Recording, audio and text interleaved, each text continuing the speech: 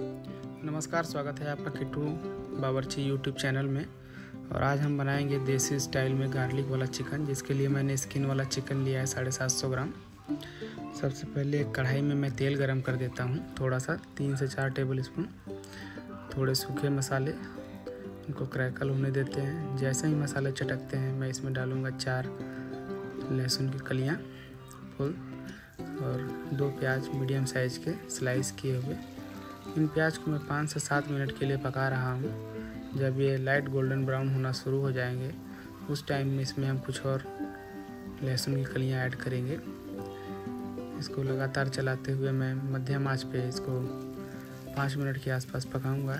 जैसे ही प्याज इस कलर पे आना शुरू होगा, मैं इसमें मिलाऊँगा। ये थोड़े से छिले हुए लहसुन की कलियाँ, पंद्रह से बीस। इनको आराम से तीन से चार मिनट के लिए भूनना है प्याज के साथ। उसके बाद इसमें हम डाल देंगे अपना चिकन। मैंने स्किन वाला चिकन यूज़ किया है। अगर आपको स्किन का चिकन नहीं पसंद है तो आप बिना स्किन के भी इसको बना सकते हैं। इसका स्वाद ही बहुत अच्छा है। गार्लिक गार्लिक फ्लेवर एकदम शानदार। इसको थोड़ा मिक्स करते हैं और प्याज के साथ इस चिकन को हम भूनेंगे थोड़ी देर के लिए। पाँच से सात मिनट मीडियम फ्लेम पे। इसको लगातार चलाते हुए मैंने भून लिया है दो से तीन मिनट। अब इसमें हम लगाएँगे ढक्कन और चार से पाँच मिनट के लिए इसको पकने देंगे। चार से पाँच मिनट पे ये अच्छे से पक के तैयार हो जाएगा चिकन। प्याज भी थोड़ा थोड़ा गड़ने लगा है। चिकन भी अपना पानी रिलीज़ कर दिया है। तो थोड़ा मिक्स करते हैं। इसकी खुशबू लाजवाब है। अभी भी इसमें बहुत अच्छी खुशबू आने लगी है। ये थोड़े से मसाले का पाउडर, लाल मिर्च, हल्दी, धनिया और जीरे का पाउडर इसमें मिक्स करते हैं।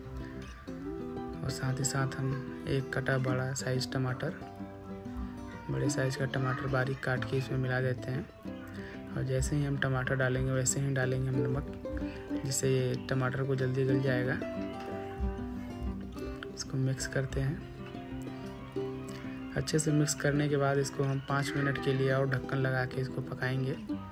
उधर पाँच सात मिनट हमने फिर पकाया था चिकन को, अभी पाँच सात मिनट के लिए फिर से पकाएँगे। ये देखो चिकन कितना अच्छा पक के तैयार हो रहा है। इसकी खुशबू अमेजिंग है। लाजवाब खुशबू है। इसको एक बार ज़रूर बनाएँ। और इतने सब किए किराए पे पानी फेरने के लिए हमने डाल दिया है इसमें एक कप पानी। इसको मिक्स कर देते हैं थोड़ा ग्रेवी को।